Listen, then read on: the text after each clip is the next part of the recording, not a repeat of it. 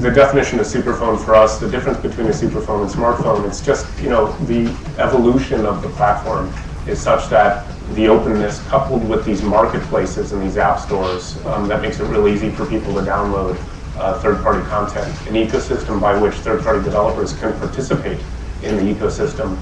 The gigahertz processors, the more memory, the you know the gigabyte uh, storage, these are all things that uh, didn't exist two years ago. Um, so you, we just thought that the industry needed another term to refer to this, these innovations. Um, and again, this is like as powerful as your laptop was four years ago. So I think you know, you know, if, uh, if, if, if anything, you're carrying these around in your pocket. They're with you all the time. They're now always on, and that's all new. Um, so we, we wanted to refer to it by, by something, and, and we think superphone is, a, is the right way to refer to it. The, bar is raising. You saw it starting at the G1 and going from the MyTouch all the way up, right? So you know, these superphones are getting more and more sophisticated as far as the hardware goes and the processing power goes, which means we can take advantage of that and create more and more sophisticated software.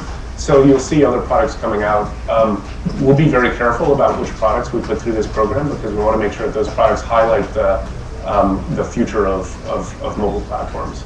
Um, everybody knows about Moore's Law, right? Um, you know, things are going to get faster and faster over time uh, today's superphone is tomorrow's smartphone as far as software goes. So we'll, uh, we'll continue to basically push the envelope and raise the bar and make sure that we only put um, uh, devices into this program that uh, meet or exceed that bar.